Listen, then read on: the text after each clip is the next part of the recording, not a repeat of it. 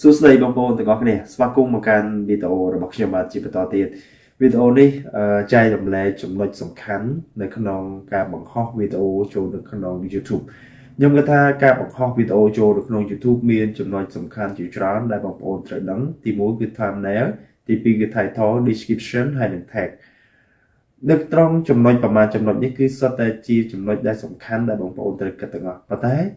ចំណុចមួយដែលបងប្អូនខ្ញុំគិតថាពិបាកឬក៏ពិបាកក្នុងការសរសេរឬក៏ស្វែងយល់គឺតកតងនឹងទៅនឹង tag tag គឺជាកន្លែងមួយដែលសំខាន់បំផុតដើម្បីរុញឲ្យវីដេអូរបស់យើងគឺទទួលបានប្រជាប្រិយភាព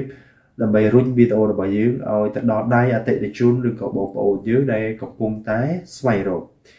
យើងខ្ញុំគិតថាបងប្អូនមួយចំនួនពេលដែលគាត់អាប់ឡូតវីដេអូចូលនៅក្នុង YouTube channel របស់ពួកគាត់តែងតែពិបាកក្នុងការស្វែងរក tag ឬក៏ keyword ហ្នឹងយកមកដាក់នៅក្នុងវីដេអូថាតើយើងត្រូវធ្វើម៉េចទើបអាចបាន tag ឬក៏ keyword ជាស្ដែងបងប្អូនមកមើលនៅក្នុង computer របស់ខ្ញុំគឺខ្ញុំទៅសេបែបនេះបើសិនបើយើងចេះទៅសេគឺអត់អីទេបងប្អូនណាយើងអាចទៅសេបានយើងអាច copy ឬក៏ឆ្នៃបែបណាដើម្បីបាន tag យកមកដាក់នៅក្នុងវីដេអូរបស់យើងដោយឡែកបើសិនបើបងប្អូនដៃថ្មីគឺមិនដឹងថាយើងត្រូវទៅសេរំមិច ឬក៏យកមកពីណាទេមែនទេយើងនៅក្នុងវីដេអូនេះខ្ញុំនឹងបង្ហាញបងប្អូនទាំងគ្នាច្បាស់ច្បាស់ថាតើ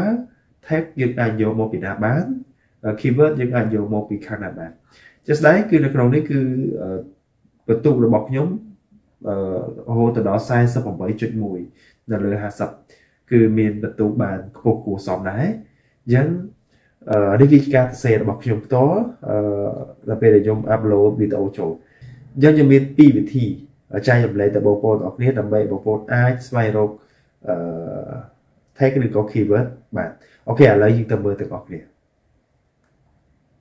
វិធីទី1គឺបងប្អូនចូលមកក្នុង website Gravity Rise ដើម្បីជួយសម្រួលការងាររបស់បងប្អូនអាចជួយក្នុងការសរសេរ tag ឬក៏ keyword ឲ្យបងប្អូនបាន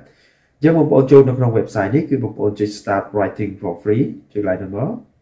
បងប្អូនទាំងអស់គ្នាចូលមកដល់ត្រង់ចំណុចនេះគឺបងប្អូនកលេចមកមើលផ្នែកខាងឆ្វេងគឺមានគេដាក់ថា tool គឺមាន tool ជាច្រើនសម្រាប់សម្រួលការងាររបស់បងប្អូនអញ្ចឹងអឺបងប្អូន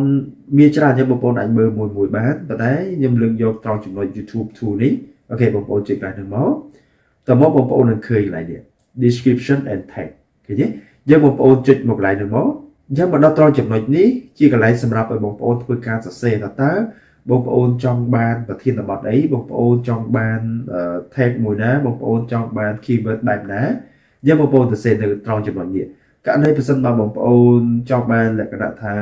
អឺតកតងសុខភាពឬក៏តកតងទៅនឹងមហូបអាហារឬក៏តកតងនឹងការដើរលេងឬក៏តកតងទៅនឹងបច្ចេកទេស technology ផ្សេងផ្សេងគឺបងប្អូនទៅសេកន្លែងហ្នឹងមក AI នឹងរៀបចំ keyword ឬក៏ tag ឲ្យយើងនៅក្នុងនេះតែម្ដង អូខេអញ្ចឹងឧទាហរណ៍ថាខ្ញុំទៅសេបែបនេះ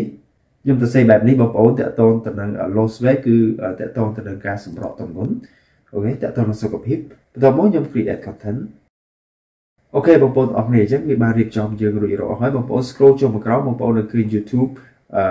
keyword tag ឃើញទេនេះគឺជា keyword ឬក៏ tag ដែលបងប្អូនអាចយកទៅប្រើប្រាស់នៅក្នុង channel YouTube របស់បងប្អូននៅពេលដែលបងប្អូន upload វីដេអូចូលនៅក្នុង channel ណាយើងអាចយកទៅប្រើប្រាស់បានបងប្អូនណានេះគឺជាវិធីសាស្ត្រទី1ដែលបងប្អូនអាចបាន keyword ឬក៏ tag ងាយងាយដើម្បីយកទៅប្រើប្រាស់ប៉ុន្តែខ្ញុំសូមបញ្ជាក់នេះគឺជាភាសាអង់គ្លេសយើងអាចបានជាភាសាខ្មែរបានទេប៉ុន្តែជាទូទៅបើសិនបើបងប្អូនធ្វើ content គឺភាគច្រើនយើងធ្វើ content សម្រាប់បរទេសអញ្ចឹង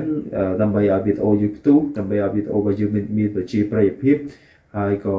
ដើម្បីឲ្យវីដេអូរបស់យើងទទួលបាននូវ view ហើយ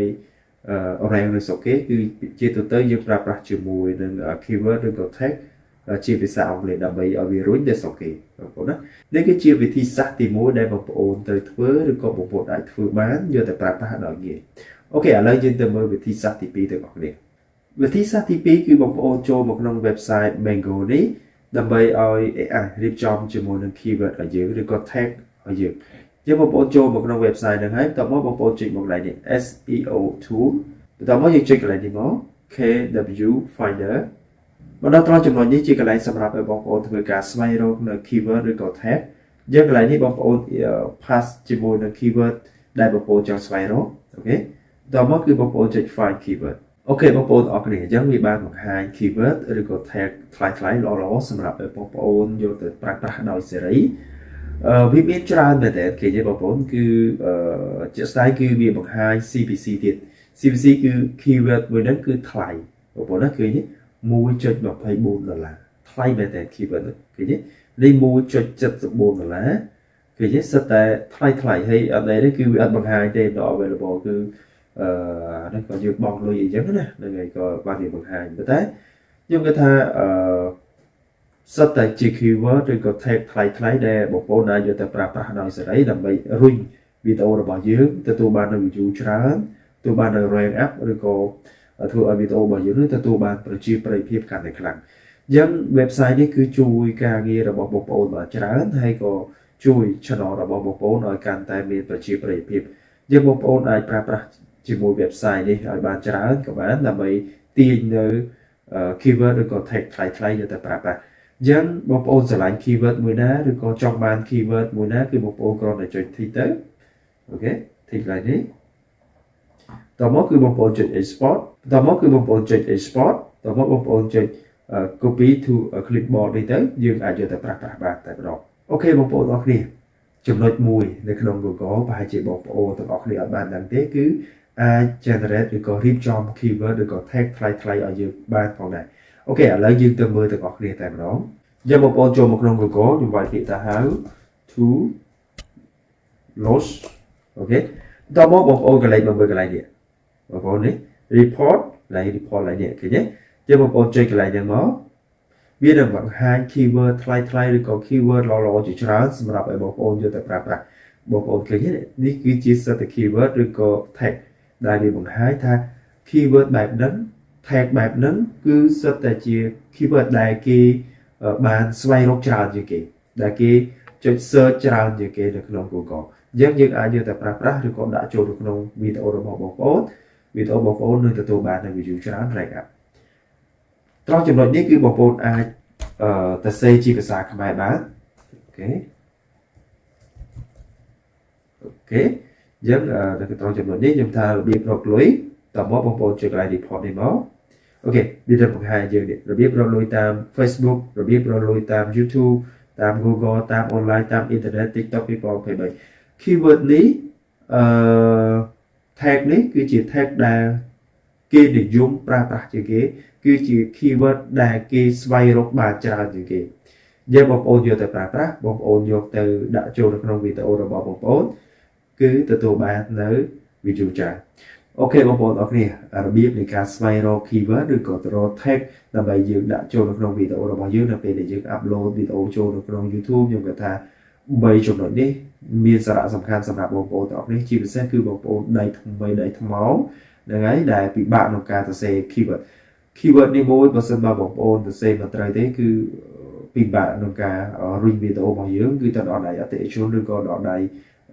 viewer របស់យើងណាហើយក៏ មិនងាយនឹង YouTube ចាប់ rank ទៅលើវីដេអូរបស់យើងទេលើកលែងដែល channel ធំធំគឺវាច្រើនគាត់អត់សូវទៅសេ keyword ឬក៏អត់ទៅសេ tag ហ្នឹងគឺជារឿងរបស់ពួកគាត់ដោយសារតែ channel របស់គាត់ល្បីហើយប៉ុន្តែសម្រាប់វីដេអូរបស់យើង channel របស់យើងដែលតូចតូចព្យាយាមទៅសេ keyword ឬក៏ tag ណាដែលល្អដើម្បីឲ្យ YouTube rank up ទៅលើ channel របស់យើង OK អញ្ចឹងការបង្ហាញរបស់ខ្ញុំខ្ញុំគិតថាបងប្អូនអាចតាមដានហើយបងប្អូនអាចធ្វើបានទាំងអស់គ្នាដើម្បីរីកចម្រើនទាំងអស់គ្នាក្នុងវិស័យ YouTube OK ខ្ញុំគិតថាការបង្ហាញរបស់ខ្ញុំគឺច្បាស់ហើយអស់ហើយអឺខ្ញុំគិតថាបងប្អូនអាចធ្វើបានទាំងអស់គ្នា OK អរគុណគ្រប់លាជួបគ្នានៅវីដេអូក្រោយ